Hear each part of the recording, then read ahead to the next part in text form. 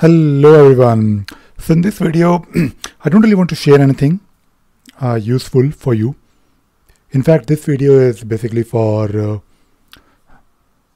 you guys who use uh, Linux to basically share your ideas for me when it comes to audio, Pulse audio. Now, I have been using Linux for uh, more than 20 years. It has been more than 20 years and it has been a long time to be honest. But for some strange reason, I have never really understood or tried to understand uh, audio. And there are so many things when it when it comes to audio. I, I guess it is in a way I have some kind of a fear when it comes to understanding how it works, and uh, I never really bother to do too much of a deep dive because uh, it has always worked for to, to be honest for me I never really had any major issues with uh, with audio on Linux. I mean, I know 15 years ago, 20 years ago, it used to be uh, not that straightforward. We used to compile applications from source, and fixing things was uh, definitely much more painful. Now, definitely, life is much more easy and uh, simplified. But lately I have been facing issues with uh, Pulse Audio, and the issue is something that I, for some reason, I have now I've not been able to fix it. Usually, I'm good in very I'm I'm quite good, and I think. Uh, I'm fine when it comes to troubleshooting and pinpointing the problem, but when it comes to Pulse Audio, maybe I'm a bit uh, cautious, and I haven't really done uh, like a proper deep dive.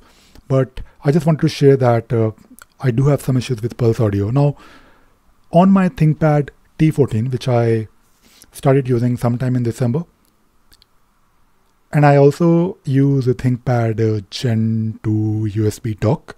So everything is, is connected to my USB dock, and it appears, uh, I mean, the deck, no, not deck, but dock also has its own output, so it appears as a sound card, I guess uh, when I when I look at my list of sound cards. And I do have like a lot of audio devices. So I have this mic, I have my laptop's internal mic, I have uh, my Jabra mic. I also have the uh, I mean multiple output.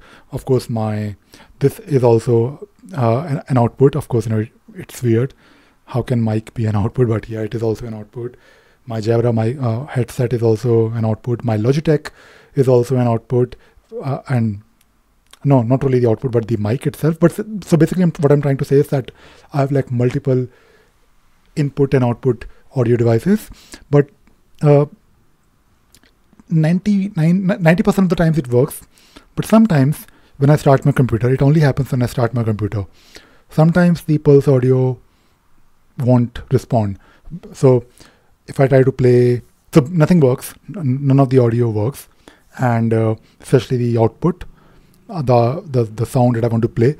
If I use if I use a ALSA mixer, I'm not really able to change the volume up and down. I mean, when I press the up key, it takes like 20 seconds or half or maybe a minute to to to go up, and uh, I am also not able to shut down the computer. Like it, it takes ages. It fi- it it does shut down, but uh, it's it, there is like it, it's stuck some there is some something something causing issue with the pulse audio because it says the pulse audio. And uh, I, have tried uh, you know a few things. None of that worked so far. For example i've tried to remove the pulse directory. So usually in your config there is uh, a directory called uh, pulse which you can delete. And when you delete it you have to basically configure the mic or output again using pov controller which uh, I believe PAVU control, which I've shown you before. But you can also kill Pulse Audio and start it again. I have also tried it. It didn't work.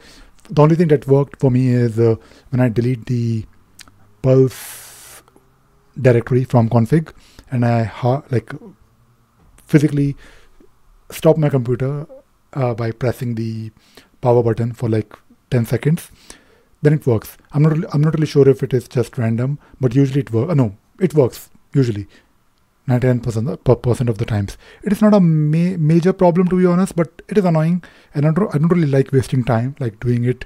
When I, when I want to start my computer, I want everything to work. So this is something that I have tried uh, to fix without any success so far. If you look at this page on Arch Linux, Pulse Audio troubleshooting, so it has a lot of information, and uh, you you can I mean if you have I mean if you have similar issues, uh, then you can refer to this page, and in, in most cases it will work. If you have no idea audio at all after like a fresh install of your op- operating system, then in most cases it should be okay. You should be able to figure out. But if you have a problem like this where it is random then it is again uh, a bit painful to first figure out what is the problem and then fix it on this particular uh, page there are like common problems and they also talk about uh, you know killing pulse audio and starting it again. And uh, there are some uh, problems with some stutter in output. So you can refer to this to, to this page to figure out.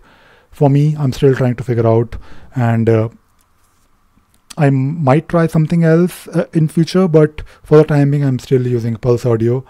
And uh, i'm of course not massively happy about it because it, it's a bit weird feeling it, it is a bit frustrating when you're not really really able to pinpoint the problem uh, forget about uh, solving it so this is something that i am trying to you know figure out if you have a similar problem where uh, I think I explained.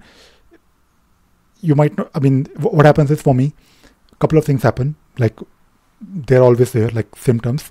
I'm not able to play any YouTube video. I'm not able to change the volume up and down using ALSA Mixer.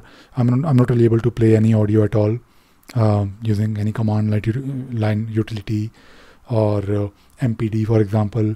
I'm not able to shut down because it says, you know, something is blocking uh, because of pulse audio and uh, there is also one more error so you can actually change the verbosity of your uh, pulse audio. So if you start pulse audio you can actually pass in hyphen v to take a look at the error. It will it will give you much more uh, information. So basically if you look at this uh, uh, so basically I, I, sometimes get this uh, so when i when i try to start pulse audio I usually get uh, this, uh, like when I look at the log, it says uh, daemon startup. Uh, oh, no, not daemon startup, but like PID already there, something like that. And I'm not really sure why because I don't really have, I just have one uh, Pulse audio running. I tried looking at it. So this is something that happens to me, like the symptoms. And uh, I've tried everything on the page.